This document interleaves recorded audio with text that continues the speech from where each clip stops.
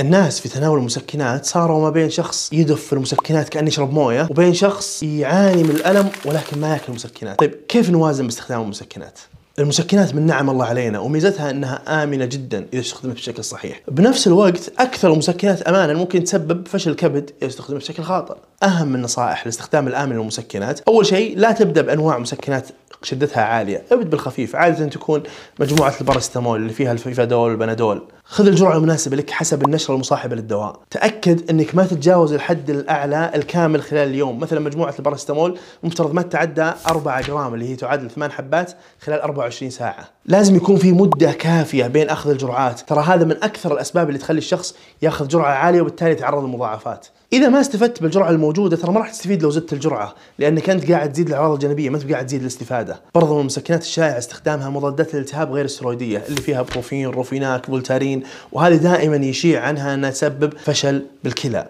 نفس ما قلنا عند أخذها بالجرعة المناسبة للأشخاص اللي ما عندهم مشاكل أو قصور بالكلى ما راح يتعرضون للمضاعفات بإذن الله. مهم جدا عند استخدامها إنك تتأكد إنك تأخذ احتياجك يومي من السوائل عشان ما يصير في جفاف. زي ما قلنا إذا وصلت الحد الأعلى من الجرعة المستخدمة لا تزيد من الجرعة بنفس المسكن وإنما استخدم مسكن من مجموعة أخرى. يعني مثلا أخذت الباراسيتامول ما لاحظت تحسن بعد ساعتين ممكن تاخذ مجموعة أخرى من المسكنات زي مثلا مضادات الالتهاب غير السترويديه ولكن عند ملاحظة إنك تستخدم مسكنات وقت أطول مثلا صداع مزمن آه، ألم سن مستمر يجب مراجعة الطبيب المختص لأن العلاج الحقيقي هو بتشخيص المشكلة وأخذ العلاج والمسكنات هي لتسكين الأعراض ولا تعالج المرض. أتمنى لكم صحة جيدة وأجساد خالية من الألم بإذن الله.